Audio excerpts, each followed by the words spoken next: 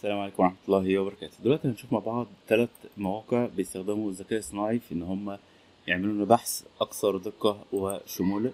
لو إحنا بنعمل بحث علمي بندور على معلومات فالثلاث مواقع دول بيساعدونا بشكل حلو إن هم يلخصوا لنا الأبحاث الموجودة يقولوا لنا على أهم الأبحاث. مثلا عايزين أبحاث عن التطور عن عن الذكاء الاصطناعي فهو يبدأ يجيب لك أهم الأبحاث اللي أنت ممكن تستعين بيها في البحث بتاعك. ده أول موقع وده مثل مجرد بس تقول له إيه الموضوع اللي أنت عايزه يبدأ يجيب لك أهم الأبحاث اللي أنت ممكن تساعدك في ال- البحث بتاعك. بالشكل دوت هو مجرد إن أنت تسأل أي سؤال أنت عايزه فهو بيخش على قاعدة البيانات ويبدأ يجيب لك ال paper ديت وبتتكلم عن إيه والملفات ال PDF واتعمل سنة كام وفي كام واحد آه، اقتبس منها. وتقدر تزود معلومات بحيث إن أنت تفلتر أكتر.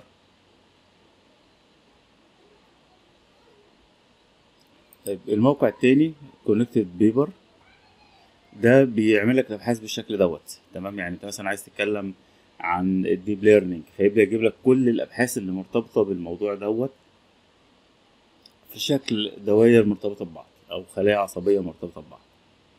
تمام؟ ممكن تدور من خلال العنوان البحث أو الرقم بتاعه ال DOI أو لو أنت آه، في الموقع دوت لقيت بحث معين فبتاخد ال URL بتاعه وتحطه هنا ويبدأ إن هو يعمل لك ال graph.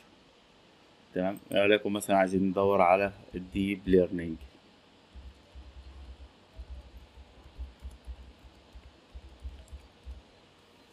يبدأ بقى هو يعمل لك الشبكة. بتاعت الأبحاث المرتبطة بالموضوع بتاعك. ممكن بقى تقول له أنا عايز هنا Connected Paper بالورقة ديت هي الورقة دي أهم ورقة. فتبدأ تشوف إيه الورق اللي بيقتبس منها أو إيه الأوراق المرتبطة بيها. فيجي يعملها في شكل graph آه، جميل. Connected Paper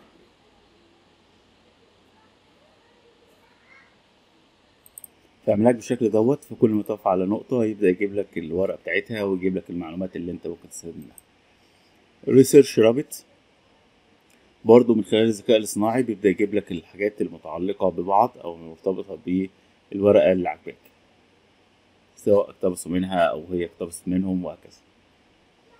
فدول بيعملوا لك ترتيب للأفكار وال workflow فأتمنى يفيدوكوا الثلاث مواقع دول.